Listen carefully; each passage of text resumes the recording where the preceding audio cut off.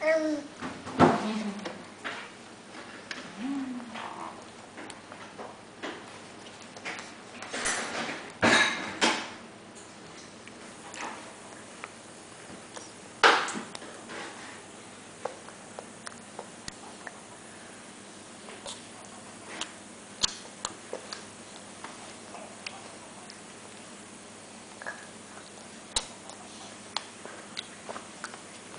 ha, ha. What do you think of that, kid? Is that good stuff?